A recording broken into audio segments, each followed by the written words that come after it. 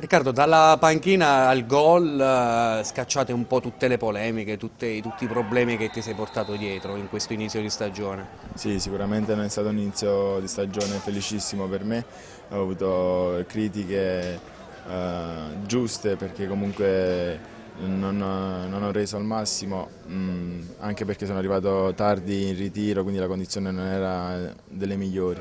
Ora sto trovando la condizione giusta e spero fra qualche settimana di arrivare al top della condizione e stare bene psicofisicamente. Ti fa parecchio onore questa ammissione di responsabilità.